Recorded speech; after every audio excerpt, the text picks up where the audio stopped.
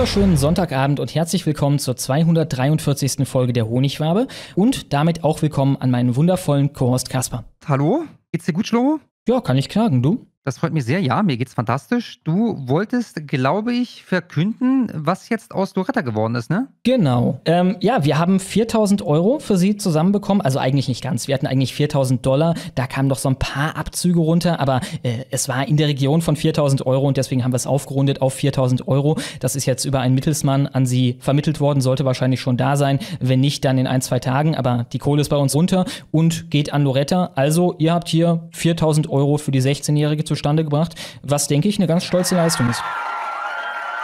Ja, das ist, das ist eine, das ist eine Hausnummer, mein Lieber. Das ist echt eine Hausnummer. Ich komme später sowieso nochmal zu Loretta und ihrer Mutter. Ich habe mit der telefoniert. Also äh, Reaktion kriegt ihr dann sowieso noch von ihr zu hören. Den Dank richte ich dann nochmal aus. Und damit kommen wir zu einem der heutigen Hauptthemen, und zwar den Neuigkeiten von Loretta. Genau, die Neuigkeiten von Schlumpfine aus Mecklenburg-Vorpommern. Was gab's da für Neuigkeiten? Ja, Hass, Ausländerfeindlichkeit, tiefrechte Symbolik, Hitlerverehrung, aller möglichen äh, Ungeheuerlichkeiten dieser Art wurden diese Woche von der Presse aufgedeckt. Ganz vorne mit dabei war der Herr Tim Röhn, der ist Autor bei der Welt und mir bereits eine Weile bekannt, weil der häufig gute Artikel schreibt und äh, hier und da mal gegen den Mainstream schwimmt. Dann sieht das aber leider offensichtlich immer mal wieder als notwendig an, den guten Jungen zu spielen. Und das ging mir dann nach dem dritten, vierten Mal so auf den Sack, dass ich ihm bei Twitter entfolgen musste. Und seitdem habe ich nicht mehr allzu viel von ihm mitbekommen. Um jetzt mal ein konkretes Beispiel zu haben für dieses Rumgekacke. Das beste Beispiel, was ich vorhin auf die Schnelle noch finden konnte, ist äh, dieser Tweet hier vom September 23. Da hatte Eva Fladinger-Bruck geschrieben, mein Kollege Jannibal ist gerade in Lampedusa und berichtet für News. Ich habe darüber nachgedacht, mit ihm zu gehen, aber wir haben entschieden, dass es zu gefährlich für mich wäre, dort unbewaffnet herumzulaufen und zu berichten. Wenn ich mir die Aufnahmen anschaue, bin ich froh über diese Entscheidung. Keine einzige, Klammer auf, weiße, Klammer zu, Frau in Sicht. Aber was wir nicht vergessen dürfen, ist, dass keiner dieser Männer auf Lampedusa bleiben wird. Sie werden unseren Kontinent überfluten und ihn noch unsicherer machen, als er bereits geworden ist. Das ist eine bewusste Entscheidung unserer Eliten. Ihnen liegt nicht die Sicherheit ihrer eigenen Frauen am Herzen. Jetzt kann man sich über ihr persönliches Sicherheitsempfinden meinetwegen streiten, das ist sowieso subjektiv, aber alles andere, was sie da geschrieben hat, ist ja 100%ig korrekt. Da sind extrem selten Frauen zu sehen. Nicht-afrikanische Frauen sowieso nicht. Die Migranten werden allesamt Lampedusa bereits verlassen haben. Wir reden ja mittlerweile von der Vergangenheit, zum Beispiel Richtung Deutschland. Und Europa wird durch Migration unsicherer, als es bereits geworden ist. Und unsere Medien, Wirtschafts- und Politelite will genau das. So viele Menschen aus Afrika und Nahost wie nur irgend möglich in Europa ansiedeln. Es stimmt also alles, was sie geschrieben hat. Allerdings hat sie auch geschrieben, dass ihr persönliches Sicherheitsempfinden sie davon abhalten würde, selber hinzufahren. Und Tim Röhn hat dann dazu geschrieben, ich bin nun wirklich kein Fan der Migrationslage in Europa und sehe dringenden politischen Handlungsbedarf. Aber das hier ist nichts anderes als rassistische Scheiße. Schnips, schnips, ja, das, das hätte noch gefehlt. Also das musste unbedingt raus. Ja, das, das war ihm wirklich wichtig. Versteht ihr? Wir verwandeln Europa sehenden Auges in ein absolutes Drecksloch. Weihnachtsmärkte nur noch unter Polizeischutz, wie in einem Krisengebiet. In einigen äh, Stadtteilen geht es nur noch unter Polizeischutz ins Freibad. Wir verzeichnen in Deutschland statistisch jeden einzelnen Tag mehr als zwei Gruppenvergewaltigungen, aber Timmy wollte euch mal wissen lassen, dass die Eva da rassistische Scheiße geschrieben hat. Gut, ich bin so ein bisschen, das ist ein bisschen sehr ausschweifend gewesen. Das ist also Tim Röhn. Und der hat sich jetzt letzte Woche mit einem Kollegen hingesetzt, um erneut die wirklich wichtigen Dinge zu recherchieren. Und dabei kam dieser Artikel raus. Gab es in der Schlumpfposse gar keinen Schlumpf? Und in dem Artikel erfahren wir, dass bei der Gefährdansprache da ging es gar nicht um die Schlümpfe, sondern, Zitat aus dem Artikel, um, um tiefrechte Symbolik. Zitat Ende. Fotos sind in dem Artikel noch nicht vorhanden. Man stützt sich da auf Beschreibungen der zuständigen Polizeibehörde. Um acht Screenshots soll es gehen. Und auf einem davon stand, also äh, liebes YouTube, liebe Polizei, ich zitiere hier einfach nur wortwörtlich. Bitte keine Hausdurchsuchung. Also auf dem Bild stand, ich zitiere nur, nix, yalla yalla. Nix, yalla yalla. Okay. Ja, ich meine, schon, wir lachen beide, ne, aber ich habe dann kurzzeitig überlegt, ob wir die Spenden aus der letzten Folge nicht umleiten sollten an die Amadeo Antoni Stiftung. Ja, an Claim ja. oder vielleicht an Tarek Tesfu persönlich. Ja. Jetzt ist der Zug abgefahren, aber gut. Das war auch noch nicht alles, ja, ich zitiere. Ihr Oberteil habe die Buchstaben HH aufgestickt gehabt. Außerdem habe sie eine Mütze der Marke Pitbull getragen. Bei der FAZ, der konservativen FAZ, hieß es übrigens, unter der Überschrift keine Schlümpfe, sondern Hass. Auf dem Kapuzenpullover sind die Buchstaben HH aufgestickt, was von Rechtsextremen als Kürzel für Heil Hitler genutzt wird. Sind aufgestickt. Ich meine, du wirst gleich noch näher darauf zu sprechen kommen, denke ich mal. Das klingt für mich als Leser ja erstmal so, als hätte man da einfach einen Standard-Pulli und hätte da selber einfach Buchstaben draufgestickt oder so. Ne? Als wäre das eine ja. Manipulation von außen gewesen, als wäre das eine Veränderung, die man selbst herbeigeführt hätte. Naja, oder gezielt so gekauft, ne? Rechtsextreme Szenekleidung oder sowas. Wie heißen da die, die bekannten Marken? Äh, äh Thor Steiner ist eine. Adolf äh, und Eva. Okay, zurück zu HH. Ich habe da festgestellt, dass man Herrn Röhn und seinem Kollegen eigentlich fast einen Preis überreichen müsste dafür, dass sie im Gegensatz zur FAZ bei der Berichterstattung über eine 16-Jährige äh, zumindest offen lassen, was dieses HH wohl bedeuten könnte. Ja, bei der konservativen FAZ stabilt man es dem Leser ja aus, um ihm ins zu scheißen, dass das für Hitler steht. Hauptsache, der Eindruck kommt auf, dass die 16-Jährige Heil Hitler verehrt. Das ist das Wichtigste. Okay, weiter mit dem Weltartikel. Also wir haben jetzt den Spruch nix yalla yalla, ein Oberteil mit den Buchstaben HH und eine Mütze der Marke Pitbull.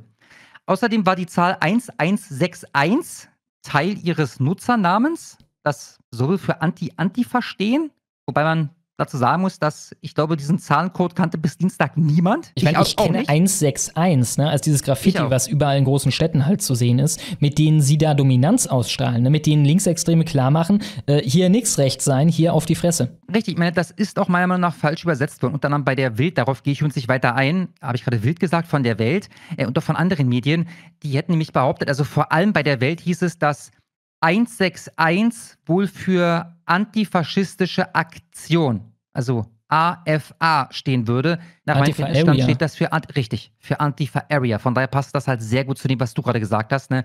dass äh, das eine Reviermarkierung ist, letztendlich. Ja? ja, und geh mal durch irgendeine, keine Ahnung, größere Stadt oder so. Ne? In Berlin siehst du das an jeder Ecke. Ja, so ist es. Gut, dann soll sie noch geschrieben haben, in Deutschland wird Deutsch gesprochen, was de facto nicht der Wahrheit entspricht aber gut. In einem Post schrieb sie Heimat, Freiheit, Tradition, Multikulti, Endstation. Und dann gab es wohl noch drei Bilder, die zusammengehörten. Auf dem einen stand Deutsche, auf dem nächsten dann Jugend und auf dem nächsten voran. Also zusammengenommen Deutsche Jugend voran. Auch diesen Slogan habe ich übrigens zum ersten Mal in meinem Leben gehört bzw. gelesen. Jedenfalls soll der Slogan auch von der, ich zitiere, neonazistischen Kleinpartei Der Dritte Weg verwendet werden.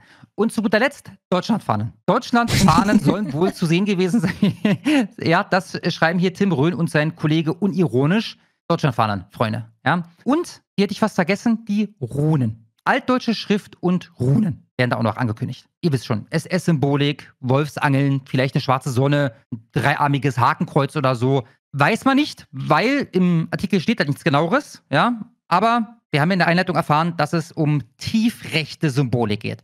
Wenn wir dann irgendwas von Runen erzählen, ohne das zu konkretisieren, dann muss ich natürlich an, an Nazi-Zeug denken, ja. Die Sachen, von denen wir jetzt wissen, also Pitbull-Mütze, Schriftzug in Deutschland wird Deutsch gesprochen, die Deutschlandfahne, Schlummer, was davon könnte jetzt eventuell unter ganz bestimmten Bedingungen strafrechtlich relevant sein? Ja, je nachdem, was das für ein Pulli ist, dieser HH-Pulli. Korrekt. Ja. Wir sind mit dem Artikel dann übrigens durch. Mehr steht da auch nicht drin. Ich komme gleich zur Auflösung. Am ähm, Mittwoch kam dann der nächste Artikel von Röhm et al. Der trägt den Namen Das sind die TikTok-Posts, wegen derer ein Schulleiter die Polizei rief. Und da kriegen wir dann endlich auch die Screenshots zu sehen, um die es hier ging. Und die aufgesteckten, aufgestickten Verzeihung, Buchstaben, was ja laut FAZ Heil Hitler bedeutet, sind die Initialen von Helly Hansen war dir wahrscheinlich schon bekannt, ne? eine 1877 in Norwegen gegründete Kleidungsmarke, die mit der rechten Szene so viel zu tun hat wie, äh, keine Ahnung, wie, wie, eine Marke halt, die mit der rechten Szene gar nichts zu tun hat. Und ja? trotzdem brauchten sie die, ne? Unglaublich. Der Typ, der sich sonst gibt als, hier, guck mal, ich bin einer von den vernünftigen Konservativen, ich bin auch gegen die Migrationspolitik und so weiter, bedient ja. sich dann solchen Antifa-Methoden gegen eine 16-Jährige, weil die ihm zu rechts ist. Das ist absolut unglaublich. Ich habe da neulich ein Interview gesehen auf Tuckers Kanal. Ich habe vergessen mit wem. Ehemaliger, boah, Mann, unter Trump irgendwie Sicherheitsbehörde. Ich weiß nicht mehr schon. Ich habe den Namen auch vergessen. Ja. Und der erzählt dann so ein bisschen über, über Psy-Ops und Sting-Operations und so. Und wenn man sich damit beschäftigt, und der Typ, also der kommt klaren Verstandes rüber. Und äh, was er da äußert, ist sinnvoll. Ja. Wenn man sich sowas reinzieht, dann kommt man irgendwann zum Eindruck, möglicherweise ist alles eine Psyop. Äh, möglicherweise ist alles letztendlich in irgendeiner Form von der CIA kontrolliert oder, oder, oder.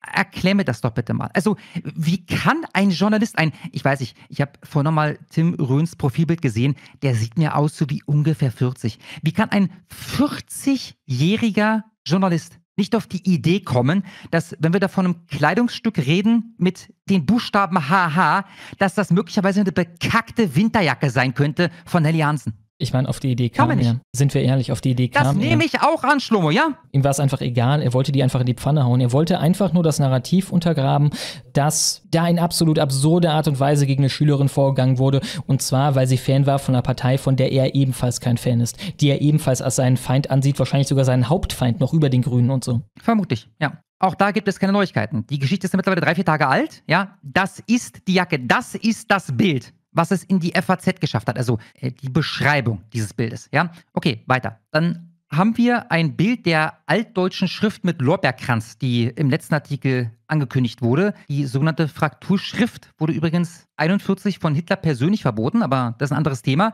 Jedenfalls hat sie da scheinbar geschrieben, stolze Deutsche.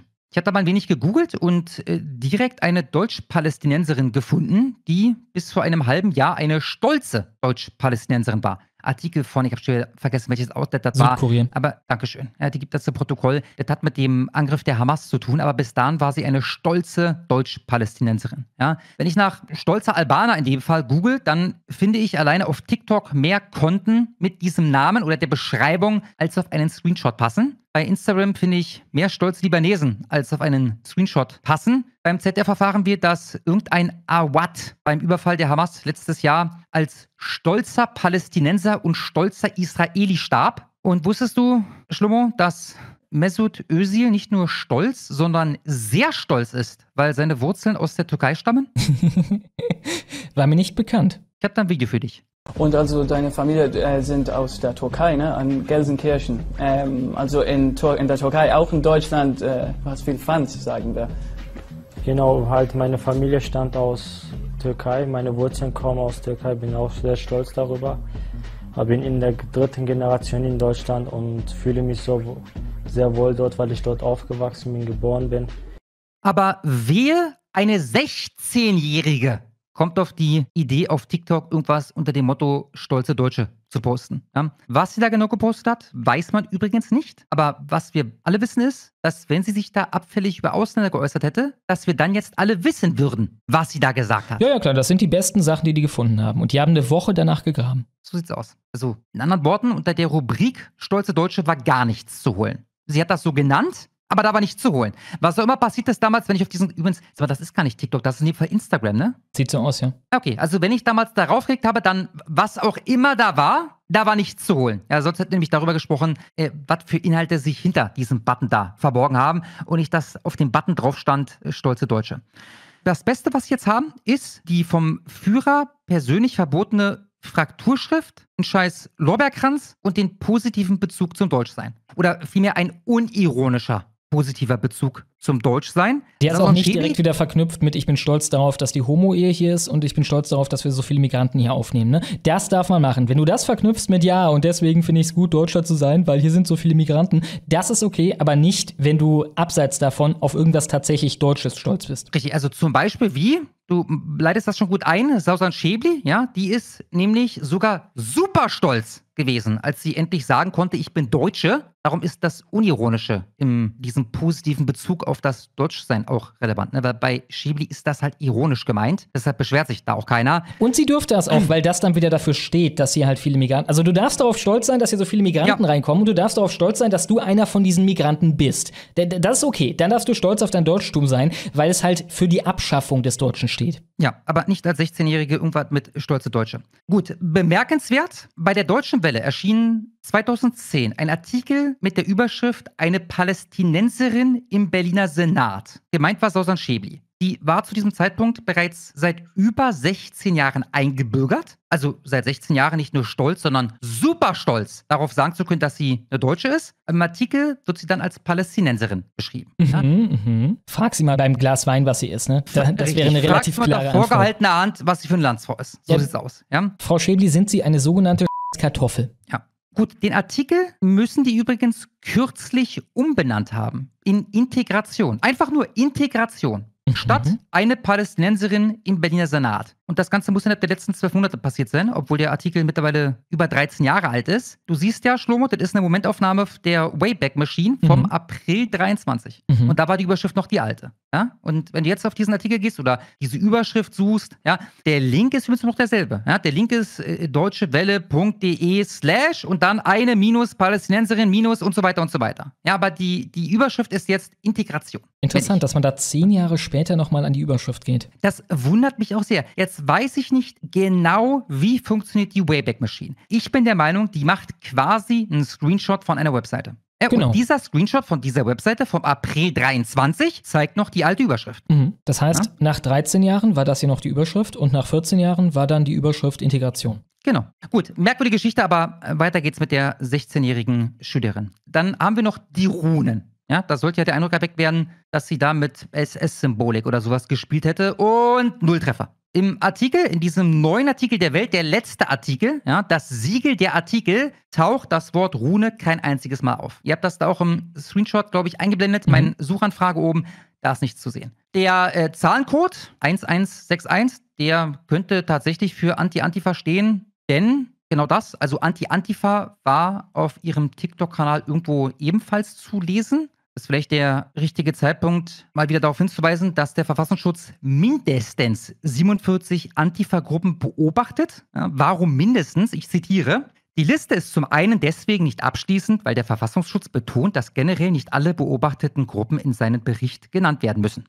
Zum anderen gibt es neben diesen 47 als extremistisch eingestuften Antifa-Gruppen auch Grenzfälle, die vorrangig einem anderen linksextremistischen Zusammenschluss angehören, der ebenfalls im Visier der Verfassungsschützer steht, wie etwa die antifaschistische Linke Freiburg. Diese Initiative trägt zwar den Antifaschismus im Namen, beteiligt sich an Treffen der Antifa-Szene und tritt in die digitalen Netzwerken als Antifa Freiburg auf, aber sie begreift sich primär als Teil der interventionistischen Linken, einer vom Verfassungsschutz beobachteten linksextremistischen Organisation und verwendet auch deren Logo. Ja, und da greift also Antifa, aber gelten nicht als Antifa. Werden beobachtet, aber gelten als nicht als Antifa. Ja? ja, ja, ich meine, das ist ja eh ein fließender Verlauf und so soll es ja auch sein. Ne? Äh, fließender klar, Verlauf dann klar. bis hin zu unserer Innenministerin, die für den VVNBDA in ihrem Magazin namens Antifa einen Artikel geschrieben hat. Der VVNBDA, der wiederum laut ihrem eigenen VS in Bayern äh, extremistisch ist und die parlamentarische Demokratie abschaffen will, weil es sie, äh, weil es diese als die oder weil sie diese als eine Vorstufe vom Faschismus begreifen. Insofern, dieser fließende Verlauf ist ja gewollt und es ist ja an sich schon mal irre, dass wir hier Extremisten haben, die Leuten zu Hause einsteigen mit dem Hammer und die Beine malträtieren. Und wenn du dann sagst, ich bin gegen diese Extremisten, dann wirst du als Extremist behandelt von ja, ja. Weltjournalisten, die eigentlich einen auf konservativ machen.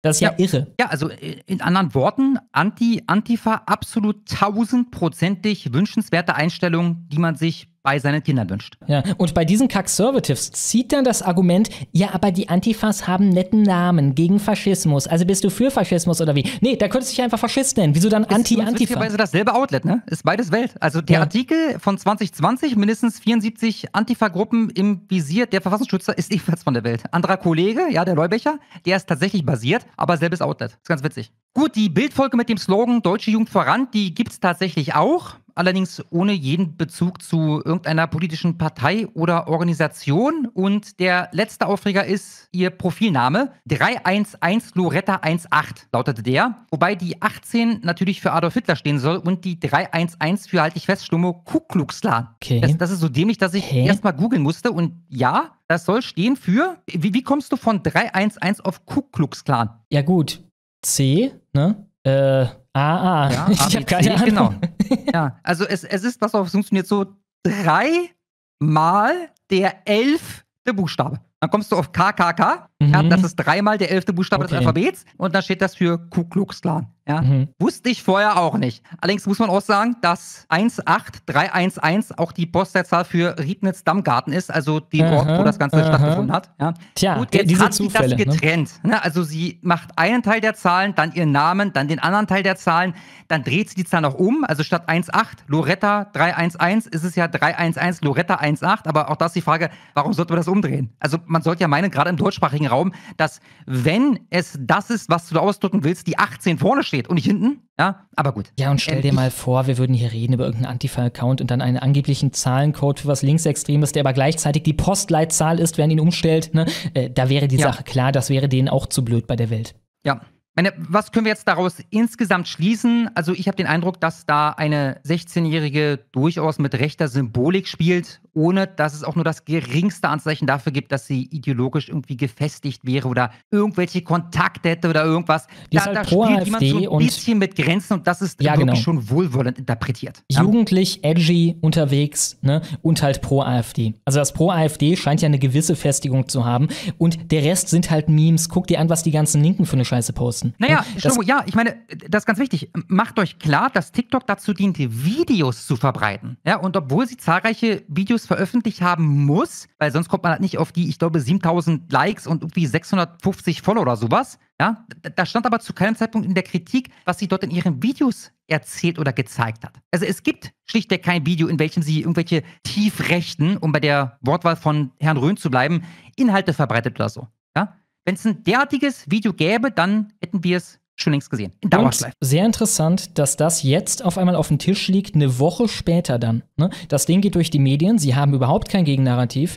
Äh, das Ding wird ein Riesenaufreger und dann, einige Tage später, eine Woche später, kommen auf einmal all diese Posts. Ne? Es wirkt halt so, als hätten einfach Journals nochmal alles auf den Kopf gestellt, um irgendwas zu finden, womit man die 16-Jährige verbrannter machen kann, damit niemand das mehr anfassen will. Ja. Was bleibt, ist eine 16-Jährige, die nicht mal mit viel Fantasie eine Straftat, nicht mal eine Ordnungswidrigkeit begangen hat. Der Schulleiter aber der Meinung war, die Polizei rufen zu müssen und die gerufene Polizei dann der Meinung war, jetzt eine äh, durchführen zu müssen. Ja, ich gebe euch Brief und Siegel. Wenn Loretta nachweislich zehnmal so links wäre, wie sie scheinbar rechts ist, dann wäre es nie zu einer Gefährderansprache gekommen, sondern man hätte ihr den nächstbesten Jugendclub linksextremistischer Prägung empfohlen, damit Man sie, hätte sie- da die richtigen Leute kennenlernen kann und später mal Polizisten mit Steinen bewirft oder politischen Gegnern mit Hammer den Schädel einschlägt. Ja, man, äh, der Schulleiter hätte sie vorgeschlagen als neues Oberhaupt von diesem Club. Ja, na, oder die wäre von, weiß ich nicht, Nancy Faeser vorgeschlagen worden für, für irgendeinen so bekackten, wertlosen Preis in Zusammenhang mit Zivilcourage oder so eine Äh, Scheiße. Verfassungsschülerin des Jahres oder so. Gut, dann haben wir hier noch ein Video von einer Aktion, die von irgendwelchen Rechten durchgeführt wurde am Montag an Lorettas Schule. Ich meine Dunstkreis IB oder IB, ich will's nicht beschwören, ist doch irrelevant. Schöne Aktion auf jeden Fall. Oh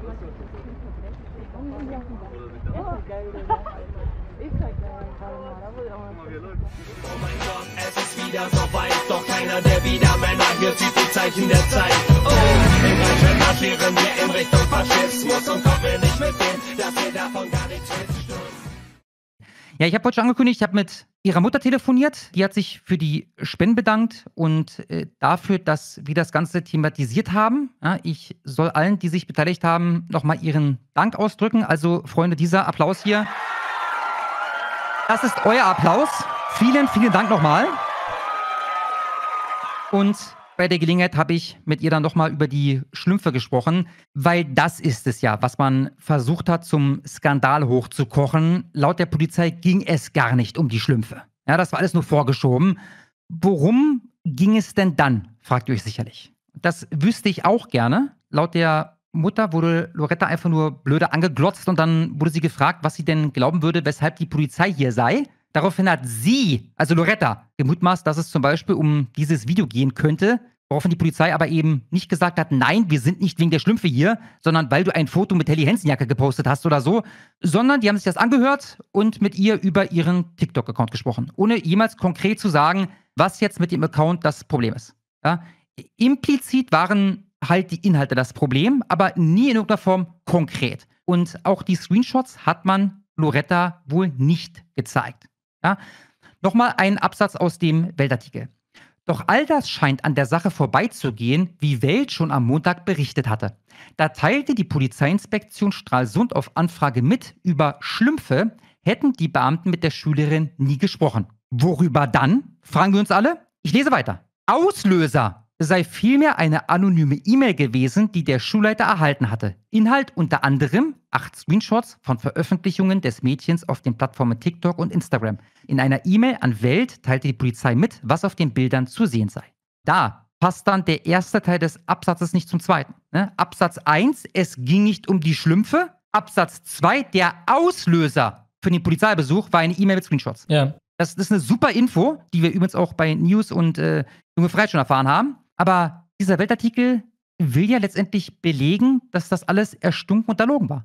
Worum es jetzt konkret ging, also welche exakten Vorwürfe die Polizei Loretta gemacht hat, erfahren wir aber auch bei der Welt nicht. Ja, und das passt exakt zu dem, was mir Lorettas Mutter erzählt hatte. Die kamen da an, setzen sich hin und fragen Loretta, was sie glaubt, wieso die Polizei da ist. Ja, Loretta fängt mit den Schlümpfen an, die Polizei sagt weder ja noch nein sondern erzählt ihr, dass dieser TikTok-Account nicht okay wäre oder sowas. Also das Thema war dann TikTok.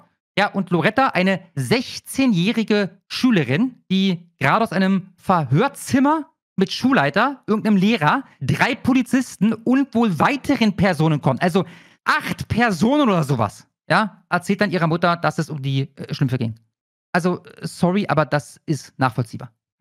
Ja? Denn nach ihrer Darstellung hat die Polizei eben nicht gesagt, dass sie nicht wegen der Schlümpfe da wären, sondern aus einem anderen Grund. Und überhaupt diese Vorgangsweise, ne? Überhaupt, hey, was denkst du denn, warum wir hier sind? Das Ganze in der Schule zu veranstalten und so. Es ist halt eine China-eske Einschüchterungstaktik. Ja, und ich meine, das Wichtigste ist, es bleibt ja auch dabei, der, der Punkt war nicht die scheiß Schlümpfe. Ja, der Punkt war und ist, dass dort eine 16-Jährige, die sich juristisch nichts hat zu Schulden kommen lassen, vom Schulleiter und drei Polizisten für alle sichtbar aus dem Klassenraum ins Lehrerzimmer eskortiert wurde, ähm, als hätte sich, ich weiß nicht, in der Pause jemand abgestochen oder so.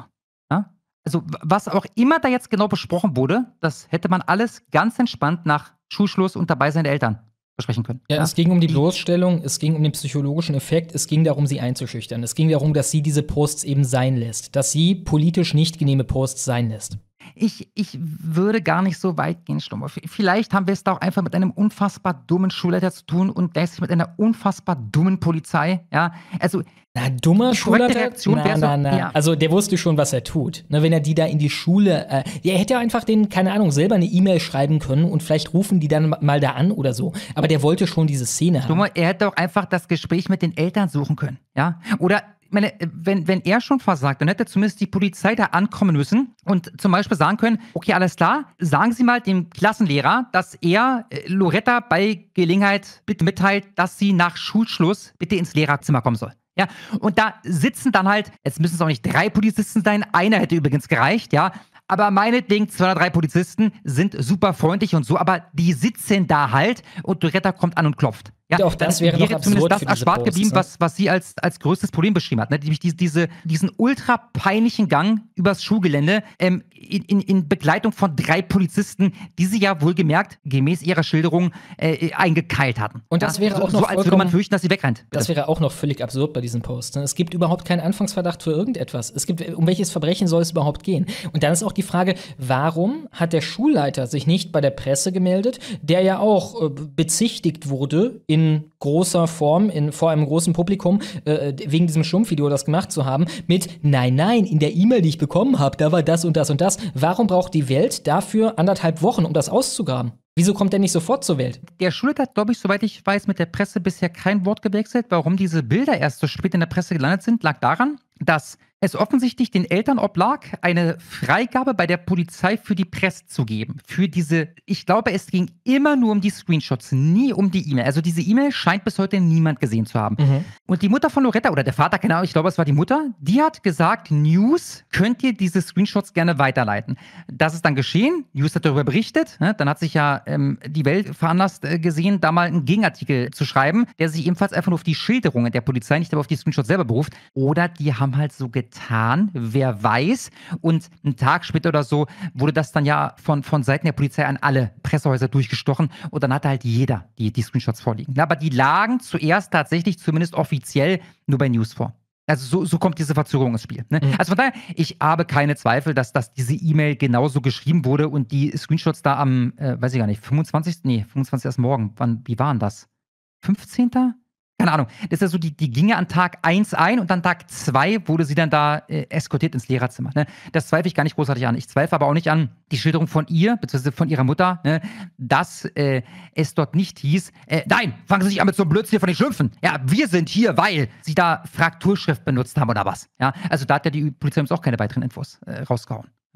Die, die, haben nur bekannt gegeben, es ging um die Schlümpfe. Ja, es ging nicht um die Schlümpfe. Nee, sorry, das haben sie eben nicht. Sie haben gesagt, wir waren nicht wegen der Schlümpfe da. Ja, was überhaupt nicht ausschließt, dass die sich dann gesetzt haben, gesagt haben, na Loretta, was glaubst du, wieso wir hier sind? Ja, und das und Loretta sagt, ja, keine Ahnung, wegen diesem Schlumpfvideo? Das auch nur als Rauchbombe. Ich meine, die Polizei hätte ja sagen können, das und das hat den Anfangsverdacht für uns dargestellt zu Straftat XY, Paragraph so und so. Nein, das gab's nicht. Es gab, hier, guck haben mal, die hat ja. so einen äh, Haley Hansen äh, äh, Pullover gehabt und guck mal das und guck mal das. Irgendwas davon. Sucht euch irgendwas aus. Ja. Aber nicht die Schlümpfe, vergesst die Schlümpfe. Die Schlümpfe sind nicht wichtig. Das und das und das. Irgendeins davon. So ist es, mein Lieber.